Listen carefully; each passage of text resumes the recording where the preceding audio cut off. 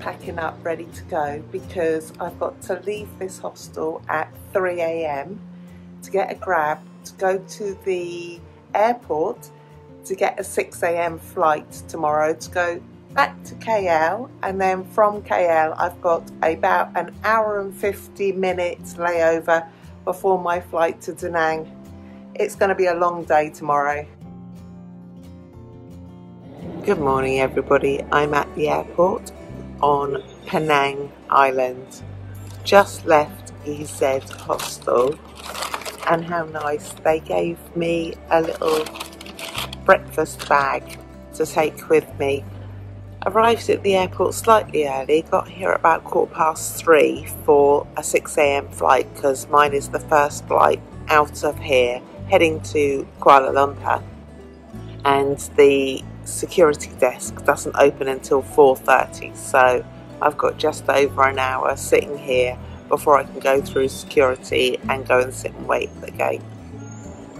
It's going to be a very long day. Don't you just love an airport at this time of the morning?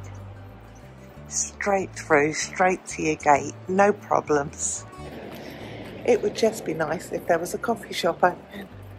For the first time since I started travelling, I've got a window seat.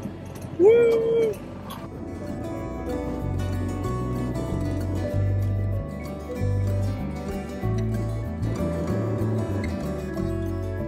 just landed after flight one. I've now got a hop, skip and a jump to change terminals to go and get flight number two. And I haven't got long between them.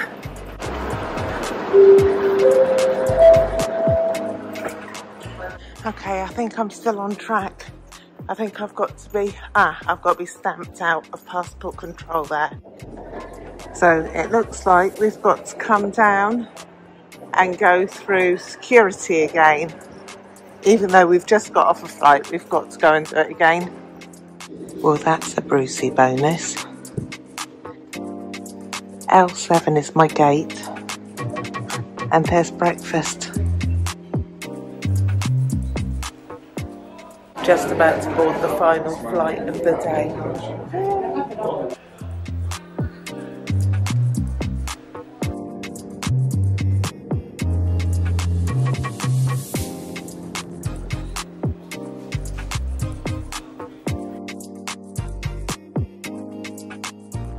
arrived in Da Nang and walked into my new hostel. I will give you a room tour, but you'll have to wait until later for that one. Sat on my bed, unpacking, getting a few bits together, and who walks in but Claudia, the lady that I spent a month with in KK in Borneo. How mad is that? we couldn't believe that we both turned up in the same place, in the same hostel. What a small world. Right, trying to cross the road. Right, I think there's going to be a break. So I'm going to go for it and hope for the best. Keep walking, keep walking. And she's across in one piece. I made my way back to my dorm at Luk Inn which is just a quick five minute stroll from the beach.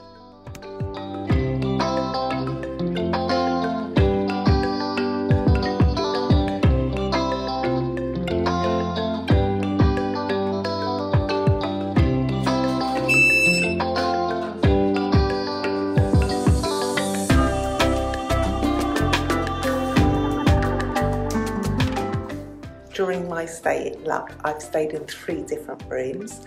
I stayed in 403 first, then 401 and then 404. So I will give you a little clip of each room. The first one I haven't got much footage from because there was quite a few people in there. This is the second room that I'm in and this is my bed just here. It's only a four berth dorm and no windows in this one and this is the room that I'm in now.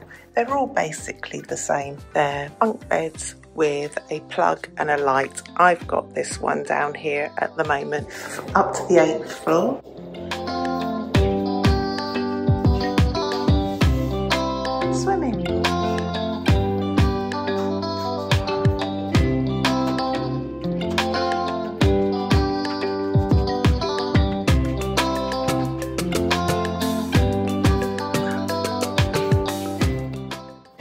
Oh my word.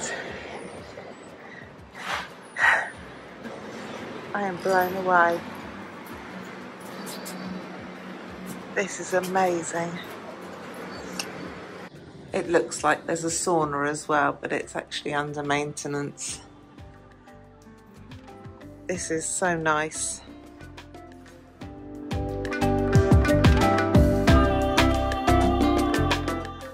I've come to get a foot massage and she's given me watermelon, a drink.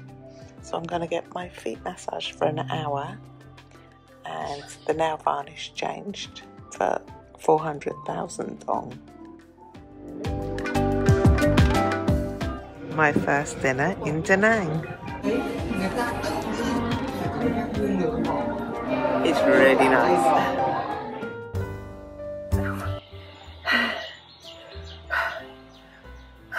I'm done. I'm absolutely done. All this in this heat.